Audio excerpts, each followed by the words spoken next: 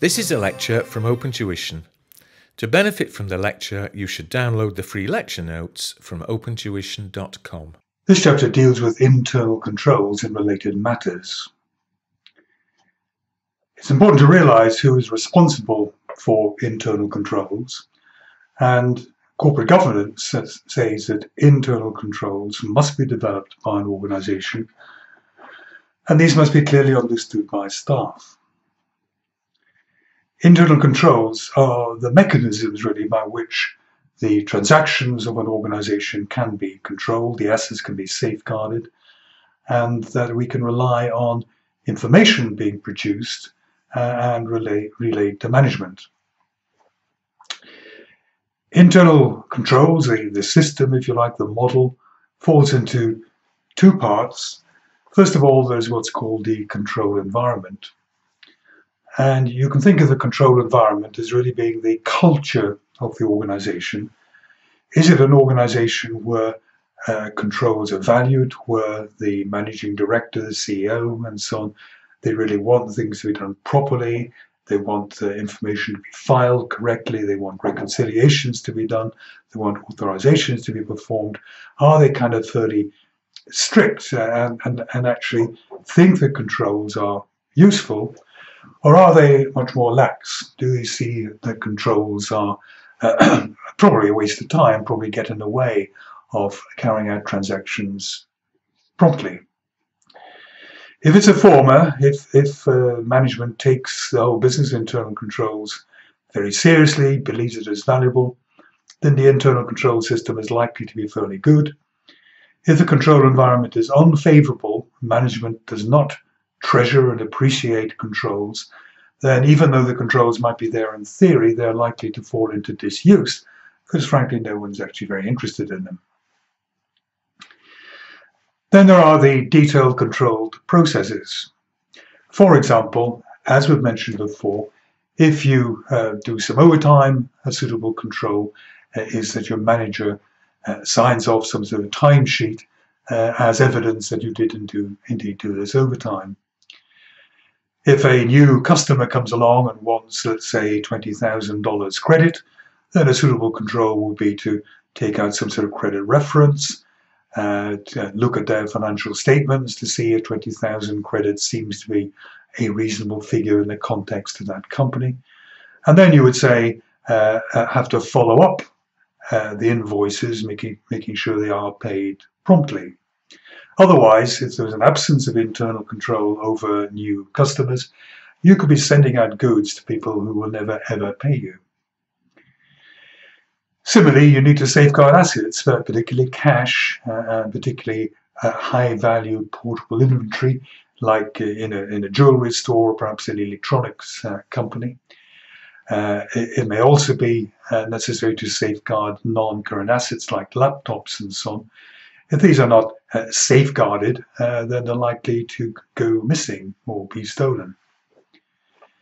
You need uh, also controls over the disbursement of cash, making payments. If you didn't have a, an adequate control, how do you know you haven't paid a supplier twice? And you may occasionally yourself have almost become slightly confused. You know, have I paid the electricity bill or not? Uh, if you don't mark it off, there's not a system of marking it off or filing or tearing it up and throwing it away even. You can get uh, a, a, bit confused on your own life, think what it's going to be in a company with maybe thousands of transactions a day, uh, working out what's been paid, what cash has been received, what inventory there is, and so on. So the sort of control processes, there is authorization, there's physical control, there's performance reconciliations. So a bank reconciliation is giving you some evidence that the uh, cash book amount is, is correct and so on. Uh, there's the idea of control totals. Uh, so the receivables ledger, there's normally a control account and, and so on. Uh, you can have sequential uh, checks uh, so that every invoice you issue is sequentially pre-numbered. And if sequentially pre-numbered, you keep copies of these, then you can quickly, by going through the sequence, identify maybe if one of these has gone missing and never been sent out or, or something else has gone wrong. So uh, there are a number of really pretty straightforward common sense control processes that can be adopted. Remember, it is the responsibility of the directors to establish an internal control system, to keep it under review, and to use information provided by the accounting system for the management of the company. External auditors are not responsible for setting up an internal control system. They will carry out their audit procedures. If they happen to find that an internal control procedure is not being followed or is absent, they will write to the directors as a service, but it is not the external auditors who are responsible for ensuring the internal control is correct. Internal auditors spend much more time looking at the uh, design and the uh, execution, really, the internal control systems. They're likely to get into much more detail. Computer systems uh, forms a kind of a specialist area of internal controls. And you have in computer systems two categories of control. You have got general controls and you have got application controls. Think of general controls as controls really over almost the environment in which the, the IT system sits. Uh, you want to make sure that access to the system is password controlled. You want to make sure there are virus checkers. You want to make sure there are firewalls to stop hacking. You want to make sure that there are backups. You want to make sure that if a program is amended, that it is thoroughly tested before it goes live, if you like, uh, because once customers begin using this program and it's not operating correctly, uh, chaos can result in that. There should be physical controls over, you know, lock away the, the, the, important files, the, the server, if you like, of the network, uh, to ensure that it physically can't be damaged or, or, or, or, elements from it can't be, be copied by you know, plugging in a, a USB stick and the like. So these general controls uh, uh, really uh, are, there over all of the, the IT system. And then you have what are called application controls. How are we going to control what happens, say, in the wages and salary system? How are we going to control what happens in uh, the sales system and the purchasing system? These are all applications. Uh, the, these are the parts of the IT systems which actually, in a way, accomplish a specific bit of programming. And we need to make sure that uh, the initiation of transactions is okay, that it is recorded correctly, that it is processed correctly, uh, and also, if there are any confidential reports being produced, like people's wages and salary slips, that the distribution of any output is also controlled. So we're talking here about input controls, processing controls, controls over standing data. Standing data is occasionally called reference data,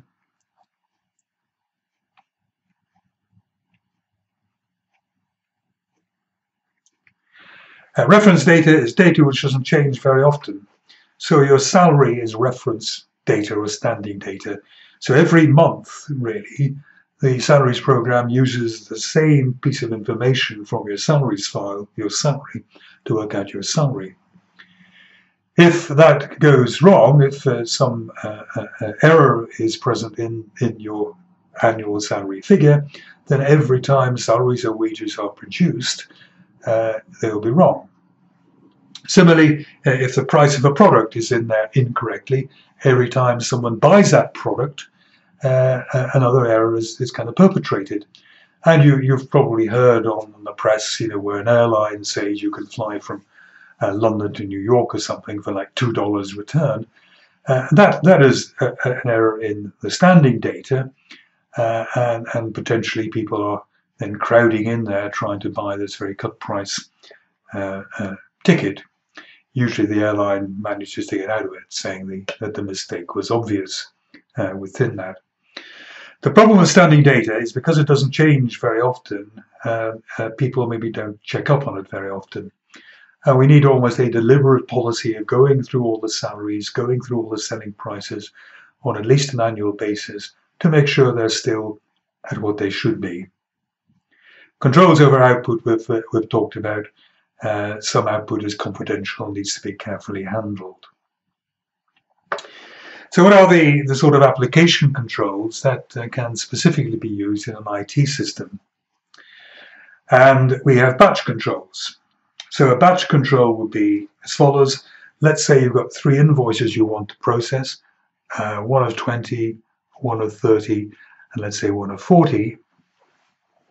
And of course, there's a you know, invoices. There's a huge volume of them, but potentially there's a, a chance that the, the input is mistyped. That's how it's going to be done here.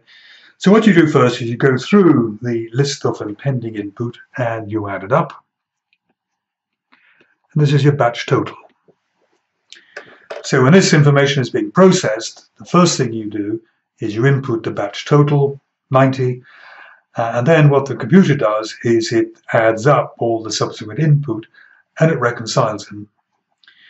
So if you had, uh, instead of typing in 40 here, you had typed in 50, then obviously it's not going to add up. Uh, and the batch would be uh, rejected as there being some sort of uh, problem within it. Sequence checks. Uh, sequence checks, for example, every paper check, bank check that's written out has a sequence number, a unique sequence number on it. Uh, and if it's been processed to the cash book, you can keep track of have we got all of these checks accounted for, and it can stop you putting in the same payment twice, and so on. A range test. Uh, for example, uh, if uh, we are putting in days of the week, uh, they should never be other than 1 to 7. And again, if somebody types in you know, 10, it's obviously wrong. That's that's known as a kind of an edit check. You're trying to look at the the, the correctness of the data by some sort of little test dummy. A dependency check. Uh, we know that if you're doing days of the month, you can get up to 31. But if you say 31 2, 2019, that's obviously wrong. Because this bit of data here depends on that bit of data. Nothing wrong with either of them on their own, but as a relationship that you expect to be uh, uh, held. Check digits, we won't get into that too, too, too much, but basically uh, uh, what it is, is that you construct account numbers, employee numbers, part numbers in some special way uh, so that they comply to some sort of uh, arithmetic. So it could be uh, for example, if you had an account number, and this is a very simple example of a uh, uh of a of a check digit, uh, the account number is let's say one two two. The way you could construct a, a kind of check digit is to say, well, actually, we want the sum of these numbers in the accounts to be divisible by 3 precisely. So 1, 2, 2 isn't. That's 2 plus 2 plus 1, that's 5. That's not going to work. So the check digit on the end would be a 1. So now it adds up to 6. It is evenly divisible by 3.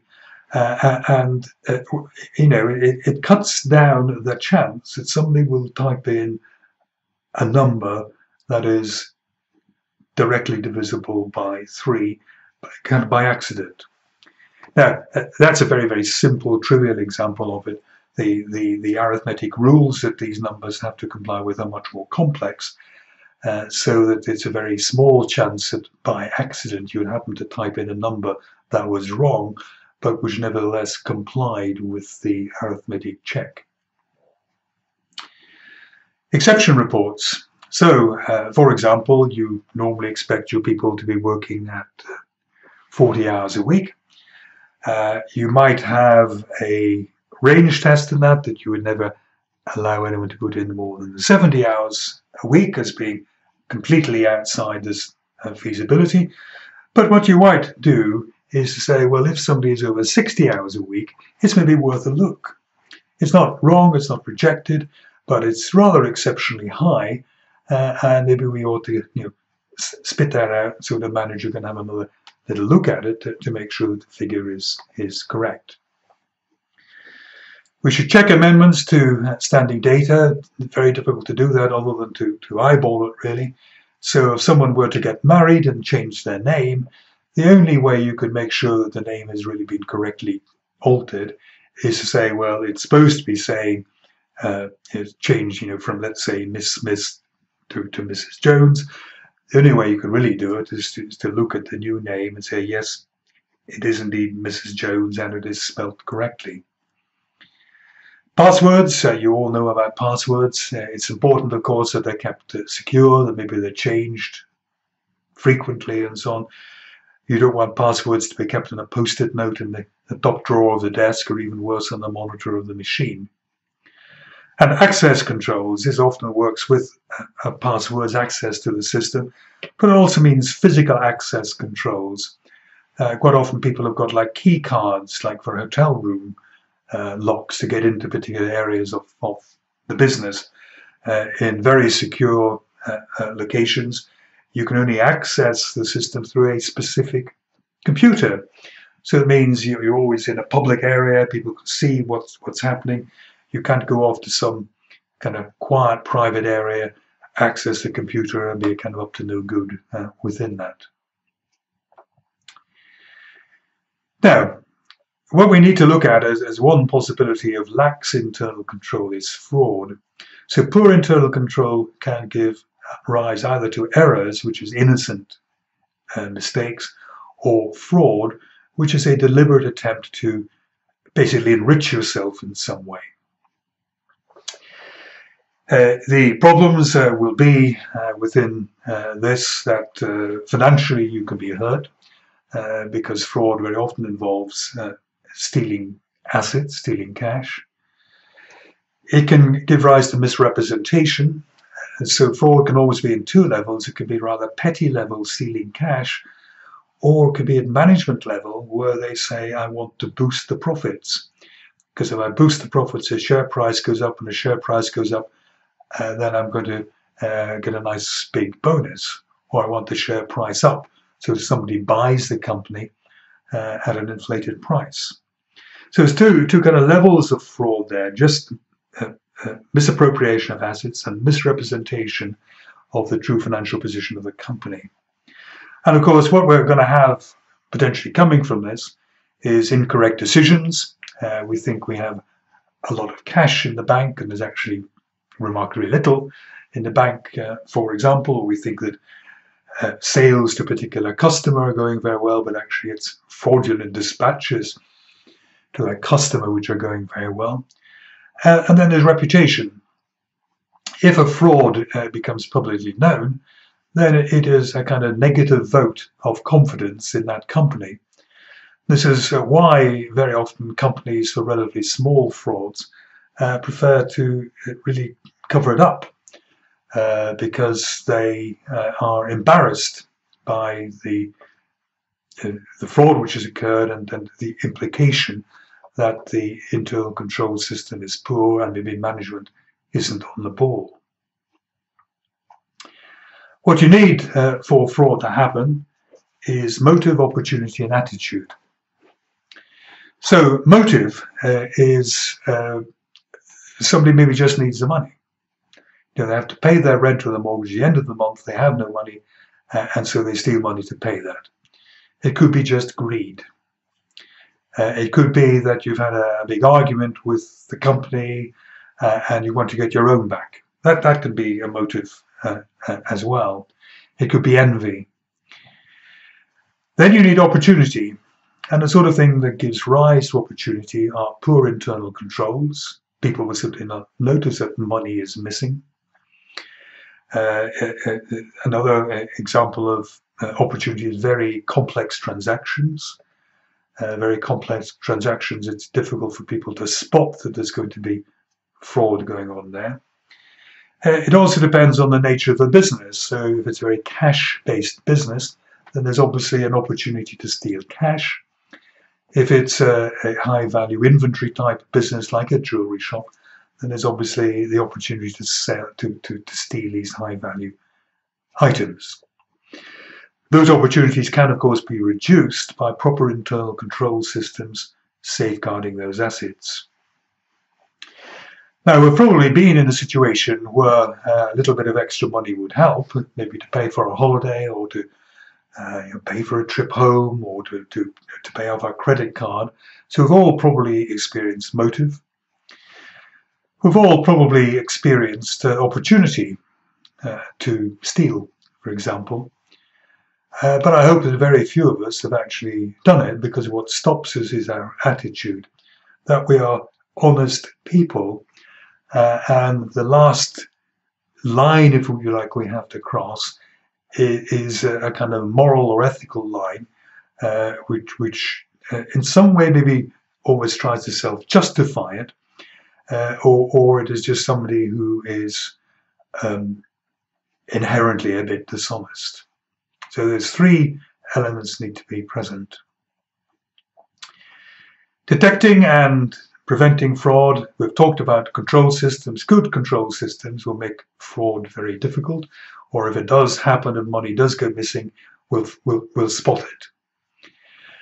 Ethics, uh, uh, um, emphasizing the ethical standards that are expected of staff. Uh, uh particularly top management mustn't be seen to be acting in an unethical fashion because, if you like, the you know, fish rot from the head down. Uh, and if top management is seen to be cutting corners and a bit unethical with regards to uh, perhaps the use of petty cash and so on, uh, this can rub off on staff lower down. And finally, training. Maybe training people to spot fraud, training people about the damage that can be done uh, uh, if, if fraud is taking place. Money laundering. Money laundering is a process where you take basically dirty money, which is money from criminal activities, uh, perhaps drugs, uh, people smuggling, uh, and uh, we want to convert that into money which appears to be clean uh, and which you can then enjoy without any danger. And there are three stages of money laundering. Uh, first of all, placement into a legitimate business. We, we have, what do we have to do uh, is to try to uh, explain the source of that wealth. So it might be drug money, but obviously you can't say it's drug money, but you need to say, well, it was earned from this business. And the, the sort of businesses that have been used for this uh, are businesses like casinos, uh, are businesses like taxi firms, businesses like even like laundrettes. Uh, now, a common thing with these businesses is that they are all cash based. Uh, and if you are in a taxi firm, let's say the daily takings are really a thousand, you say, actually the daily takings were 2,000. You slip in an extra thousand of the dirty money. You'll be taxed on that, uh, but in many ways that's a cheap price to pay for later on being able to spend that money without any fear. Then what you do, uh, because uh, you know, somebody might spot that you're slipping in the extra thousand a day to your taxi business, uh, and then the authorities might come after you to try and get that money. You want to uh, make the the trail of money very obscure. So what you do is you would maybe take money out of your taxi business and begin to pass it through a whole lot of bank accounts, in and out and in and out. Ideally, some of them abroad in foreign jurisdictions and then back and so on uh, really making it very difficult to track where the money has gone or ultimately track back to see where that money has come from. Because if you can't track back and say the money has come from crime, then the authorities will find it difficult to seize it. Then after this kind of long, convoluted journey through various bank accounts and so on, we need to get it back in, in some way. And integration it's almost like placement again at the end here. We have to find some way of remitting this money back to us.